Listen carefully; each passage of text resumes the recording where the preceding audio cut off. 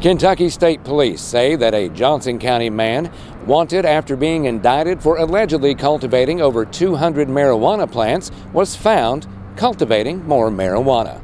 They say it happened Tuesday evening on US 460 in Staffordsville when they attempted to pull over a vehicle for speeding. That vehicle, being driven by 30 year old Brandon LeMaster, pulled into a driveway and stopped. The trooper asked LeMaster for his insurance card, and LeMaster told him it was inside his residence with his girlfriend. When the trooper went to retrieve the card, he said he could smell a strong odor of marijuana coming from inside the residence. He asked the girlfriend if he could search the home. She said no and quickly shut the door.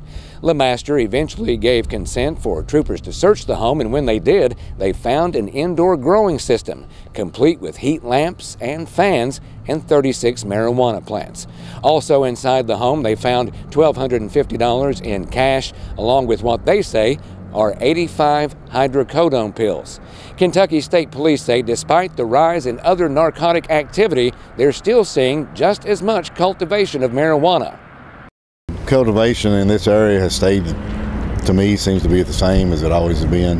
Uh, there's, of course, this time of year, there's a large amount of indoor grows because the frost is still coming. Uh, you'll start to see it outside here shortly when the, as the temperature rises. Uh, there will be also more indoor grows too that you know sometimes we find them uh, even up in the, the late summer months. Eastern Kentucky is probably the best uh, uh, area to grow because of the climate, and uh, so it's, it's, a pretty popular uh, thing to do here.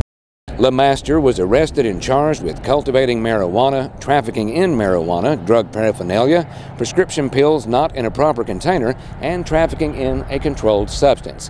Both LeMaster and his mother, 57 year old Wanda LeMaster, were served indictments for allegedly cultivating marijuana, which states that back in September of last year they were found growing 203 marijuana plants. Both were lodged here at the Big Sandy Regional Detention Center.